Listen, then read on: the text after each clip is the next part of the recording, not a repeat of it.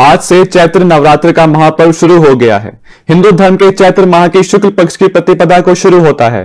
चैत्र नवरात्रि के दौरान लोग नौ दिनों तक माँ दुर्गा के नौ रूपों की पूजा करते हैं और उनकी आराधना भी करते हैं। इस दौरान भक्त ध्यान, भक्ति और त्याग के माध्यम से अपने आत्मा को शुद्ध करते हैं और भगवान की कृपा का आशीर्वाद प्राप्त करते हैं। वैसे तो नवरात्रि 8 अप्रैल की रात 11 बजे से ही शुरू हो गई थी, लेकिन उदय तिथि 9 अप्रैल को होने की वजह से आज घट स्थापना की गई है।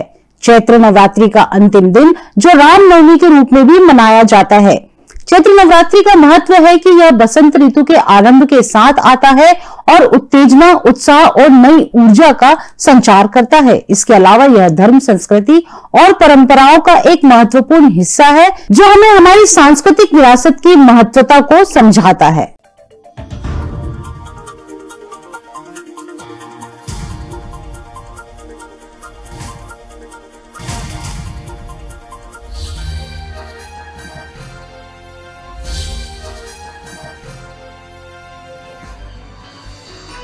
आप देख रहे हैं दखल न्यूज़।